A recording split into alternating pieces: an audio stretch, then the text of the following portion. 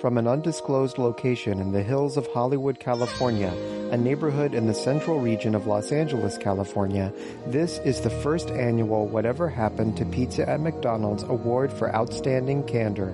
I'm your host, Brian Thompson.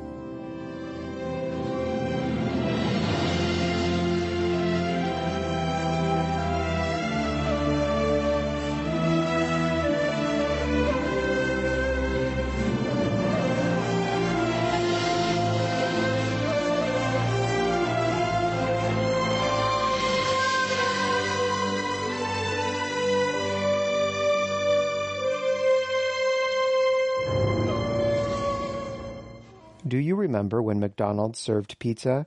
If so, how did it taste? These are just some of the questions I have asked countless strangers in my quest to discover why McDonald's stopped serving pizza in the mid to late 1990s. But often, the answers I receive, when I receive any answer at all, do not demonstrate outstanding candor. McDonald's own employees stretch the bounds of credulity by claiming they have never heard of McDonald's pizza and those who claim to have tried it often say it was not that good. This, I know for a fact, is a falsehood, as I have tried the pizza myself, and know firsthand that it was indeed pretty good for the price. But some have gone above and beyond the barest terms of the social contract and provided me with valuable and honest information to help me in my investigation. Tonight, I will consider three of these people for the honor of the first annual Whatever Happened to Pizza at McDonald's Award for Outstanding Candor.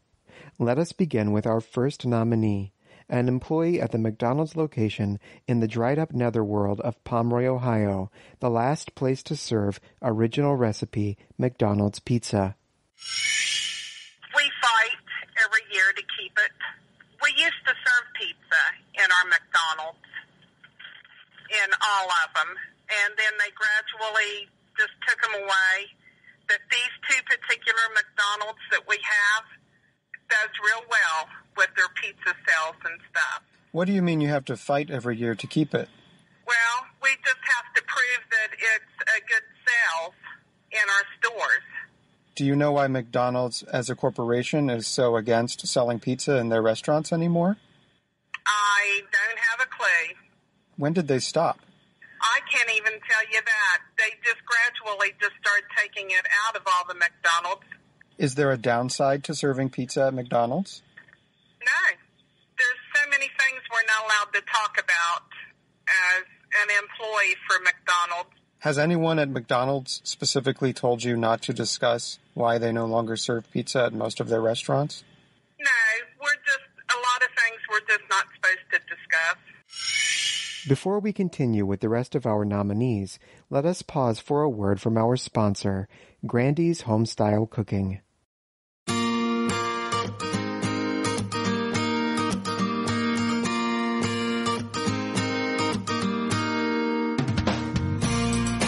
Grandy's was born in 1973. The concept, innovative for its time, was to combine the efficiency of a fast food business with the ambience of a full service restaurant by providing customers with home style favorites at an affordable price. And it worked.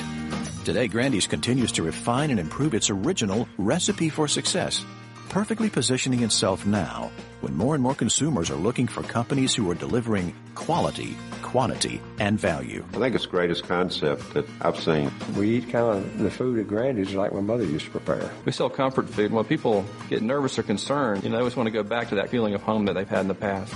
Where do you find that home style touch that unites the families together? And the only thing I could come up with is Grandy's. All day long, Grandy's features a variety of fresh homemade favorites, comfort food, along with fresh baked dinner rolls, biscuits, and our signature cinnamon rolls. Home style meal, breakfast, lunch, and dinner. Everybody says it's the best chicken they've ever had. I'd put up against anybody. Vegetables and, and chicken fried steak and catfish. And a lot of times people want hot food, you know, quality food rather than a burger and a fry. The testimonials you just heard demonstrate an outstanding level of candor regarding the quality and convenience of Grandy's homestyle cooking. But our next nominee has demonstrated outstanding candor regarding another thing entirely. Yes, I am talking about pizza. When season two of our program began, I investigated a tip I received that the famed United States Army deserter Bowe Bergdahl originally abandoned his post in Afghanistan in search of a local McDonald's that might still be serving pizza. I abandoned this line of inquiry after I received overwhelming feedback from you, the listeners, that you were not interested in it, and that it was not nearly as good as season one.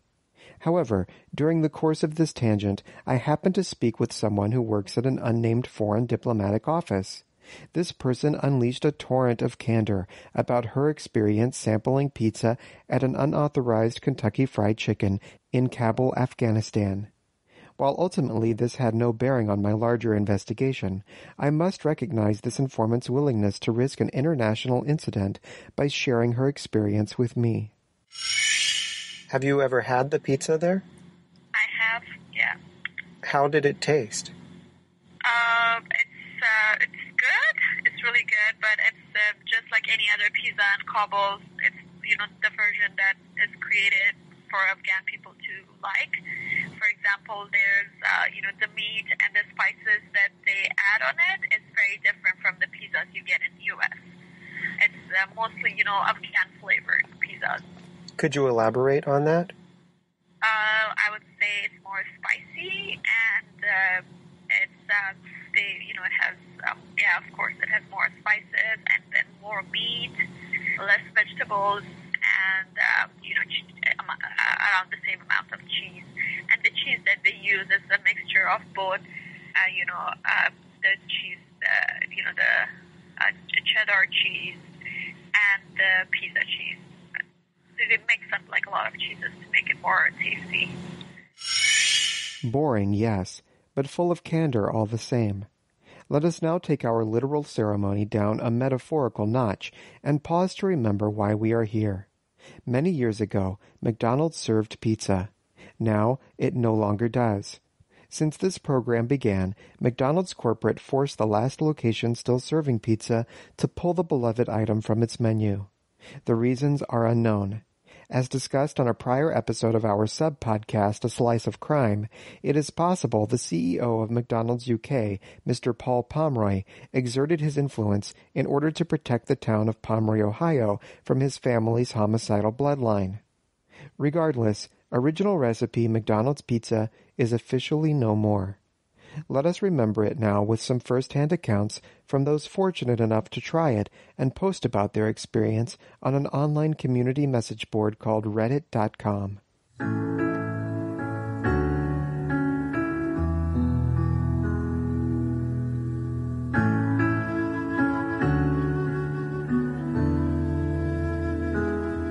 The old pizzas came in tiny boxes, about the size of two McNugget boxes. The pizza was good.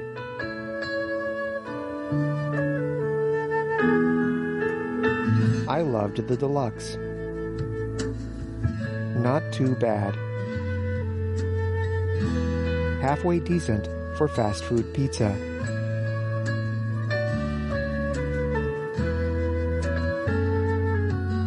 It was okay. Not great, but not bad. On a road trip from Texas to California eight years ago, we stopped by one that had the pizza. This is amazing pizza. Makes for some great late night drunk food. I remember when I was like six years old and my dad took me for McDonald's pizza. We were seated and they brought the pizza to our table like a real restaurant and everything. It was cool. That expletive deleted was the best thing I've ever put in my mouth. Finally, tonight, we come to our last nominee for the first annual Whatever Happened to Pizza at McDonald's Award for Outstanding Candor. Very recently, I purchased an ancient McDonald's pizza, pasta, and chicken dinner menu from a seller on the Electronic Bay. Despite the fact that this seller shipped the artifact to me in an envelope clearly labeled Do Not Bend, it arrived bent. As a responsible citizen, I reported this infraction to the relevant authorities. One such authority went above and beyond the call of duty and shared with me the stunning revelation that a McDonald's museum exists mere miles from my home here in the Los Angeles, California neighborhood of Hollywood, California. Truly, this kind regulator demonstrated some outstanding candor. Do you happen to know or remember when McDonald's served pizza? Not as far as I know, they they never. Because I'll be quite honest, I grew up in Downey, California. That's what the one of the oldest McDonald's are. And I'll go always always inside the museum, and I never saw anything related to pizza, sir.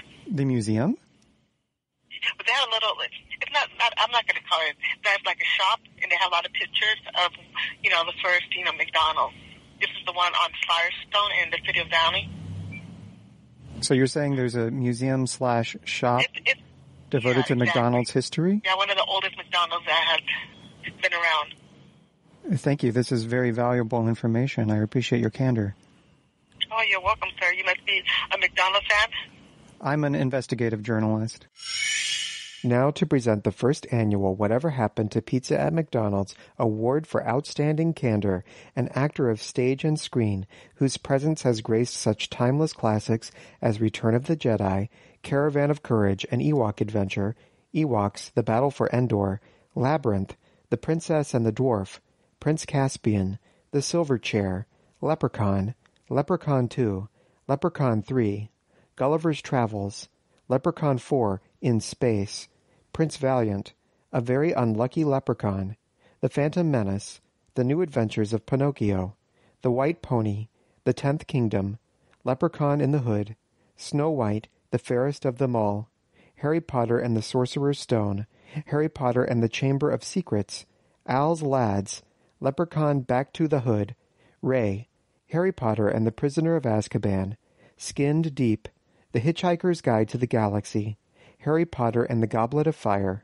Small Town Folk, Harry Potter and the Order of the Phoenix, Agent One Half, Harry Potter and the Half-Blood Prince, Harry Potter and the Deathly Hallows Part 1, Dick and Dom's Funny Business, Harry Potter and the Deathly Hallows Part 2, Jack the Giant Slayer, Ashens and the Quest for the Game Child, Get Santa, Text Santa, The Force Awakens, Rogue One, A Star Wars Story, The Last Jedi, Solo, A Star Wars Story, British Airways Safety Video, and of course, Willow. Yes, I'm talking about Willow himself, Mr. Warwick Davis.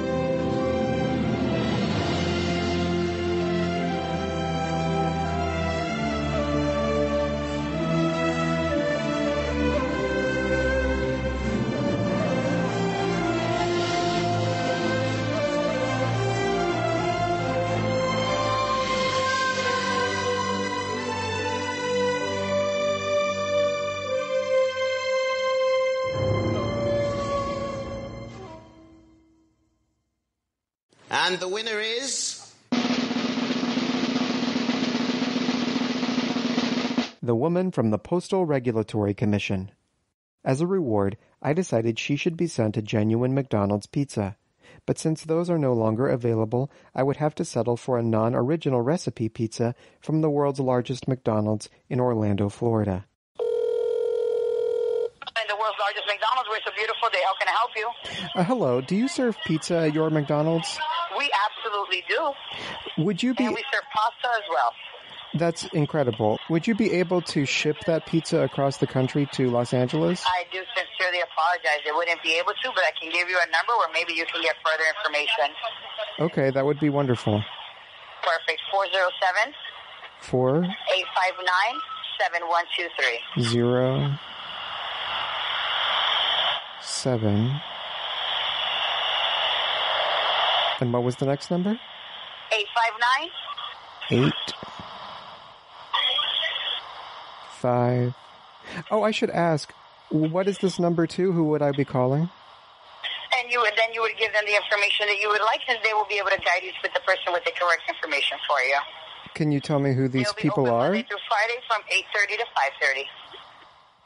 Are you not allowed to tell me who these people are? Pardon? Are you not allowed to tell me who these people are? You're calling our main office. Oh, then the main McDonald's office. No, you're calling the physical McDonald's, and then you're going to call our main office. We are a franchise, and they'll be able to guide you with any further information you might need. Oh, okay. So what was that phone number again? 407-859-7123. Seven, one, two.